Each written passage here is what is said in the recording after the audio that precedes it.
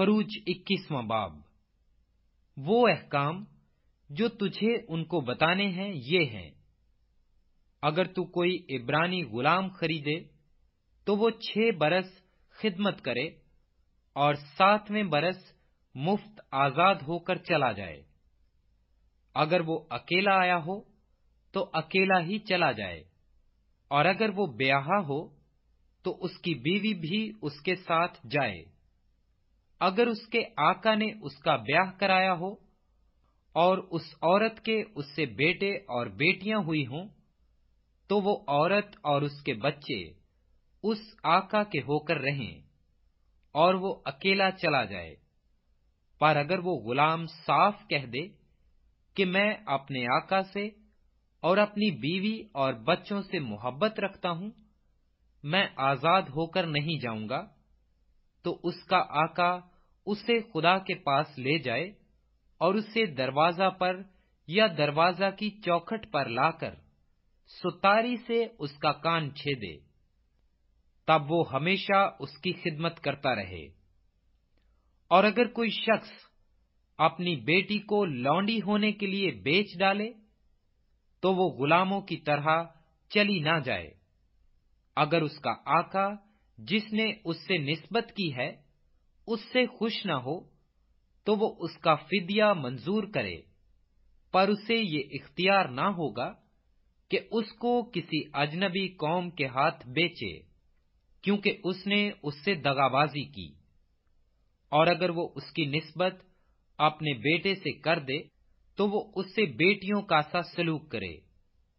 اگر وہ دوسری عورت کر لے، تو بھی وہ اس کے کھانے کپڑے اور شادی کے فرض میں کاثر نہ ہو۔ اور اگر وہ اس سے یہ تینوں باتیں نہ کرے، تو وہ مفت بے روپے دیے چلی جائے۔ اگر کوئی کسی آدمی کو ایسا مارے کہ وہ مر جائے، تو وہ قطعی جان سے مارا جائے۔ پر اگر وہ شخص گھات لگا کر نہ بیٹھا ہو، بلکہ خدا ہی نے اسے اس کے حوالہ کر دیا ہو تو میں ایسے حال میں ایک جگہ بتا دوں گا جہاں وہ بھاگ جائے۔ اور اگر کوئی دیدہ و دنستہ اپنے ہمسایا پر چڑھ آئے تاکہ اسے کرسے سے مار ڈالے، تو تو اسے میری قربان گاہ سے جدا کر دینا تاکہ وہ مارا جائے۔ اور جو کوئی اپنے باپ یا اپنی ماں کو مارے، وہ قطعی جان سے مارا جائے۔ اور جو کوئی کسی آدمی کو چرائے، خواہ وہ اسے بیچ ڈالے، خواہ وہ اس کے ہاں ملے، وہ قطعی مار ڈالا جائے۔ اور جو اپنے باپ یا اپنی ماں پر لانت کرے، وہ قطعی مار ڈالا جائے۔ اور اگر دو شخص جھگڑیں اور ایک دوسرے کو پتھر یا مکہ مارے اور وہ مرے تو نہیں، پر بستر پر پڑا رہے تو جب وہ اٹھ کر اپنی لاٹھی کے سہارے باہر چلنے پھرنے لگے، تب وہ جس نے مارا تھا بری ہو جائے اور فقط اس کا ہر جانا بھر دے اور اس کا پورا علاج کرا دے۔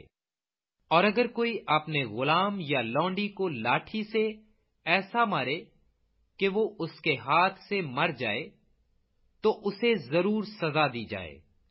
لیکن اگر وہ ایک دو دن جیتا رہے تو آقا کو سزا نہ دی جائے، اس لیے کہ وہ غلام اس کا مال ہے۔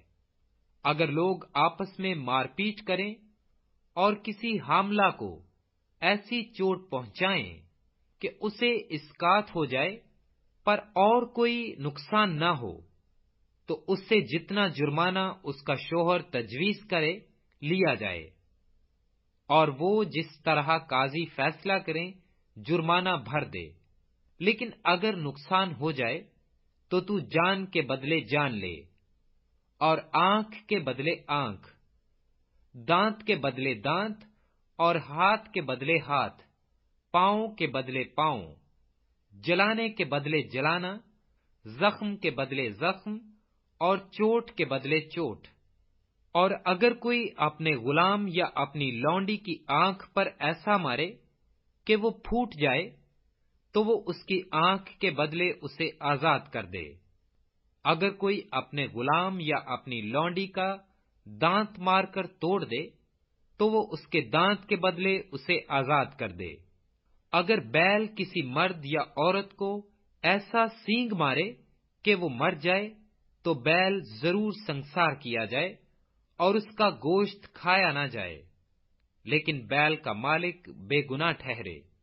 پر اگر اس بیل کی پہلے سے سینگ مارنے کی عادت تھی اور اس کے مالک کو بتا بھی دیا گیا تھا، تو بھی اس نے اسے باندھ کر نہیں رکھا اور اس نے کسی مرد یا عورت کو مار دیا ہو۔ تو بیل سنسار کیا جائے اور اس کا مالک بھی مارا جائے۔ اور اگر اس سے خون بہا مانگا جائے تو اسے اپنی جان کے فدیہ میں جتنا اس کے لیے ٹھہرایا جائے، اتنا ہی دینا پڑے گا۔ خواہ اس نے کسی کے بیٹے کو مارا ہو یا بیٹی کو، اسی حکم کے موافق اس کے ساتھ عمل کیا جائے۔ اگر بیل کسی کے غلام یا لونڈی کو سینگ سے مارے، تو مالک اس غلام یا لونڈی کے مالک کو تیس مسکال روپے دے اور بیل سنسار کیا جائے۔